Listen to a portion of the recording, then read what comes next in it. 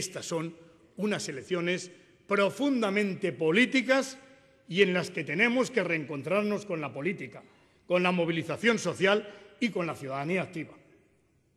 Este es un partido grande, este es un partido que es parte, parte del patrimonio de lo andaluz, un partido honesto, un partido que tiene sus cuentas auditadas, que no tiene un Gürtel, que no tiene nadie que pueda avergonzarle dentro de las finanzas.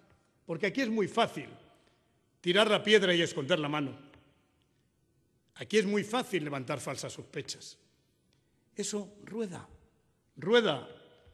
Luego nadie pide cuentas a quien miente. Luego nadie pide cuentas a quien calumnia ni a quien difama. Este es un partido honesto, con sus puertas auditadas.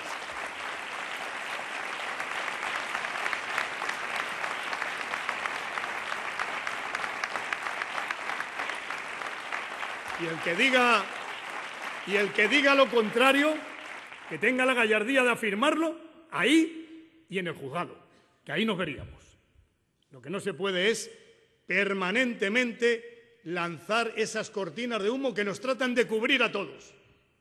Naturalmente que ha habido problemas en algunos casos, siempre los hay en la gestión de un gobierno. Pero quiero deciros, lo primero de todo, que las ayudas al empleo de la Junta de Andalucía han salvado muchos puestos de trabajo y han favorecido a miles de trabajadores que perdían su empleo.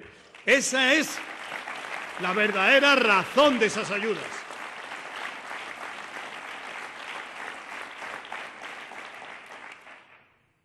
Y se miente. Y se trata de implicar a personas honradas, honorables y honestas. Bueno, se ha tratado de meter a Felipe González porque dice que había un abogado que estaba trabajando en un despacho con él hace 41 años. No, no, no riáis. Es que esto lo ha rebotado el PP. Vino en un periódico y el PP lo rebotó. El otro día en el Parlamento lo volvió a decir.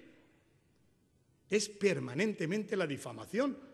A nuestro candidato Juan Espadas también se le ha tratado de meter a todo el mundo. Miren, en un caso como esto, como este, siempre hemos hecho lo mismo.